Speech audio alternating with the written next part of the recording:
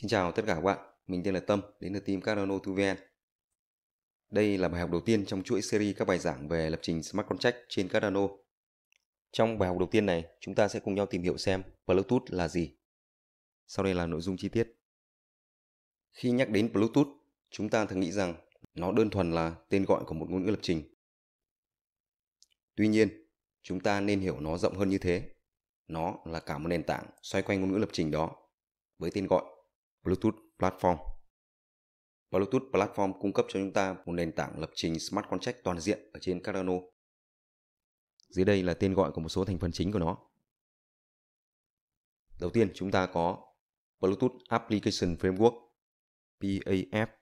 Đây là mảnh ghép lớn nhất trong Bluetooth Platform. Nó mang đến một bộ công cụ đầy đủ hỗ trợ các nhà phát triển trong quá trình xây dựng và vận hành DApp ở trên Cardano từ khâu soạn thảo đến kiểm thử phần mềm cũng như chạy mô phỏng và hỗ trợ runtime, vân vân. Thành phần ờ, nổi bật tiếp theo là Bluetooth Application Backend PAB. Thành phần này sẽ hỗ trợ chúng ta trong việc xây dựng phần off-chain code. Nó hoạt động như một môi trường trung gian, cung cấp khả năng tương tác giữa ứng dụng với phần backend của node, của ví và với người dùng.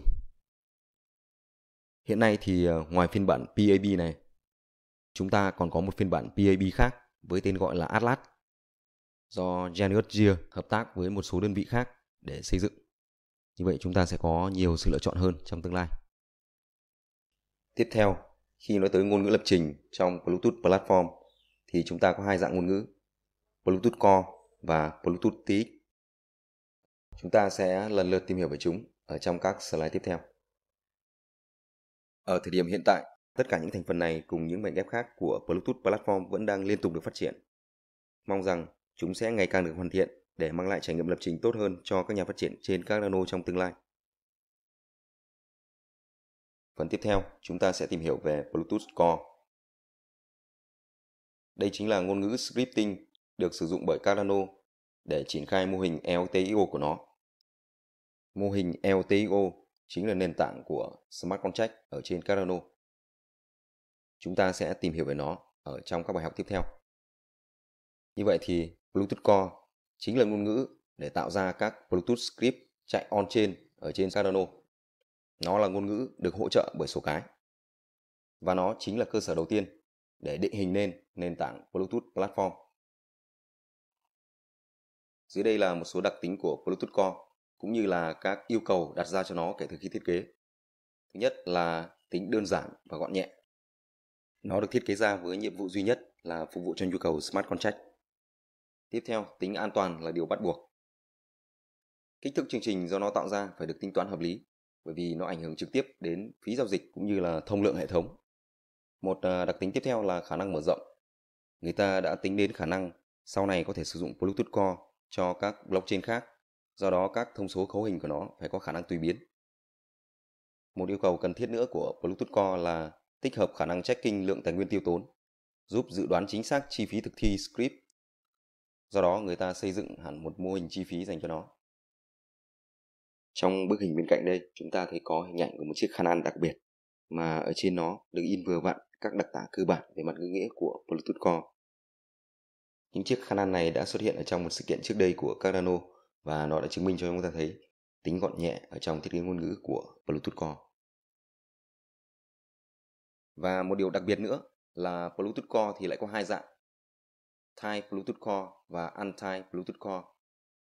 Hai dạng này khác nhau ở một điểm là dạng bên trên thì có kiểu dữ liệu rõ ràng, còn dạng bên dưới thì không. Trong quá trình thiết kế thì ban đầu người ta dự định sử dụng Type Bluetooth Core để làm ngôn ngữ scripting trên Cardano. Tuy nhiên, sau đó thì người ta nhận ra rằng kiểu dữ liệu ở trong chương trình sẽ chiếm phần lớn kích thước tổng thể của chương trình Do đó người ta loại bỏ kiểu dữ liệu ở trong Thai Bluetooth Core đi để thu được Anti Bluetooth Core hay còn gọi là UPLC và UPLC trở thành ngôn ngữ scripting của Carano. Khi đó thì Thai Bluetooth Core trở thành một dạng trung gian ở trong quá trình biên dịch. Chúng ta sẽ xem quy trình biên dịch đó ra sao ở trong slide tiếp theo. Cuối cùng, Bluetooth Core là một ngôn ngữ lập trình bậc thấp. Do đó chúng ta rất khó để code trực tiếp ở trên nó mà sẽ sử dụng một ngôn ngữ bậc cao hơn để cốt, rồi sẽ biên dịch ra nó. Và trong nền tảng Bluetooth thì ngôn ngữ bậc cao đó có tên gọi là Bluetooth TX. Bluetooth TX là ngôn ngữ lập trình được xây dựng dựa trên Haskell. Về bản chất, nó là các thư viện được viết bằng Haskell. Do đó, khi chúng ta viết một chương trình Bluetooth TX thì thực chất chúng ta đang code bằng Haskell. Bluetooth TX có nhiệm vụ giúp chúng ta tạo ra phần on-chain code của ứng dụng, bao gồm validator script và minting policy. Chúng ta sẽ xem xét về các loại script này ở trong những nội dung sau của khóa học. Hình ảnh bên dưới đây là quy trình biên dịch của Bluetooth. Xuất phát từ một script được viết bằng Bluetooth TX. Sau đó nó sẽ được biên dịch thành dạng GHC Core và tiếp tục được chuyển sang dạng Bluetooth IR. Đây là một dạng mở rộng của Bluetooth Core được sử dụng với vai trò trung gian. Từ dạng trung gian này, script được chuyển sang dạng Bluetooth Core. Đây chính là dạng Bluetooth Core có kiểu. Cuối cùng thì các kiểu sẽ được xóa đi và chúng ta thu được script cuối cùng là UPLC. Như vậy chúng ta thấy quy trình biên dịch này được chia ra làm khá nhiều công đoạn. Ở thời điểm hiện tại, có một số ngôn ngữ đang được phát triển để thay thế cho vai trò của Bluetooth TX trong việc tạo các script on-chain. Nhưng ờ, bất kể chúng ta sử dụng ngôn ngữ nào thì cái đích cuối cùng của quy trình biên dịch chúng ta vẫn cần thu được một file UPLC. Trong phần cuối cùng của bài học, chúng ta sẽ cùng nhau xem code của một script căn bản sử dụng Bluetooth TX. Và như chúng ta đã tìm hiểu ở phần trước, đây thực chất là những dòng code Haskell đây là một Bluetooth script thuộc dạng đơn giản nhất. Có thể coi nó như một chương trình Hello World của Bluetooth Smart Contract. Nó luôn cho phép giao dịch được diễn ra. Cho nên ở đây chúng ta nhìn thấy nó được đặt tên là GIP. Chúng ta sẽ sử dụng nó để xem xét các thành phần cơ bản của một validator script và không đi quá sâu vào chi tiết nội dung của code. Thành phần đầu tiên nằm ở vị trí trên cùng của file là các language pragma Pragma là một khái niệm ở trong Haskell. Về mặt cú pháp, chúng ta có thể thấy nó được bao bọc bởi các ký tự, ngoặc nhọn, dấu trừ và dấu thăng. Pragma có tác dụng bổ trợ và cung cấp các chỉ dẫn cho trình biên dịch của Haskell là GHC trong quá trình biên dịch. Dòng chữ đặt tại vị trí này thể hiện kiểu của Pragma và do đó ở đây chúng ta có các Pragma kiểu language và Language Pragma có tác dụng để bật hoặc tắt các phần mở rộng ngôn ngữ của Haskell. Chúng ta đến với phần tiếp theo là khai báo module và import thư viện. Haskell tổ chức và quản lý code dưới dạng các module. Và đây là câu lệnh khai báo module của nó. Phần bên dưới chúng ta thấy các lệnh import thư viện. Và tất cả các thư viện này cũng chính là các module. Phần trong ngoặc là tên của các hàm, các kiểu dữ liệu, vân vân ở trong thư viện mà chúng ta muốn đưa vào chương trình để sử dụng. Toàn bộ phần cốt ở bên dưới này là chương trình chính của chúng ta. Mình ờ, chia nó làm 3 phần. Đầu tiên, đây là hàm chính để tạo ra validator. Toàn bộ công việc chính của chúng ta khi xây dựng một script đều sẽ nằm ở đây. Với những ờ, chương trình phức tạp hơn, chúng ta có thể cần phải định nghĩa các kiểu dữ liệu riêng hoặc các hàm phụ trợ cho hàm này. Ở bên dưới này chúng ta nhận thấy lại có sự xuất hiện của một pragma. Và đây là inline label pragma. Tạm thời, ở thời điểm hiện tại, chúng ta sẽ chưa cần hiểu về nó và coi nó như một mẫu cần phải tuân theo. Mỗi khi tạo một validator function thì hãy đi kèm theo nó một inline label pragma với tên hàm được đặt bên trong nó. Tiếp theo là phần code thực hiện việc biên dịch validator. Từ một hàm Bluetooth TX trở thành dạng mã Bluetooth Core. Nó sử dụng một cơ chế phức tạp và một thành phần nâng cao của Haskell với tên gọi là Template Haskell.